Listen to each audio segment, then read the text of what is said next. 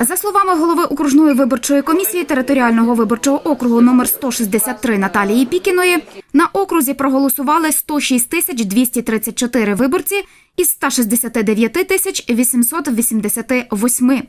Із них 52 тисячі 413 осіб проголосували за Петра Порошенка та 49 тисяч 781 особа за Володимира Зеленського.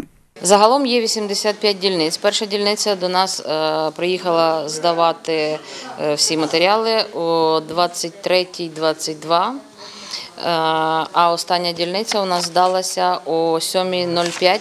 Було підписання протоколу, але було в них уточнення. Ми їх відправляли на уточнення, тому що не сходилися цифри.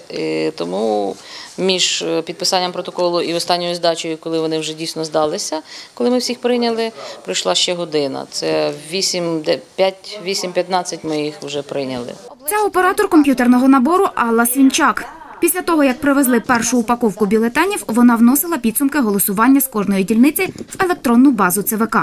Голова окружної виборчої комісії Наталія Пікіна каже, о 10.15 їй зателефонували із центральної виборчої комісії і повідомили, що підрахунок голосів на окрузі вірний. За словами Наталії Пікіної, члени окружної виборчої комісії домовилися, що завтра з 11-ї години розпочнуть формувати протокол про підсумки голосування в межах територіального виборчого округу номер 163. Цей протокол до ЦВК планують відправити у середу. Це 85 упаковок з кожної виборчої дільниці округу номер 163. На кожній із них е, вказані імена та прізвища членів окружної виборчої комісії номер 163, початка окружної виборчої комісії, а також година, о котрій е, була опечатана ця упаковка. Після того, як члени окружної виборчої комісії сформують протокол про підсумки голосування і відправлять його до ЦВК, е, працівники Тернопільського обласного архіву зможуть описати ці упаковки з бюлетенями і після того їх перенесуть до приміщення Тернопільського обласного архіву.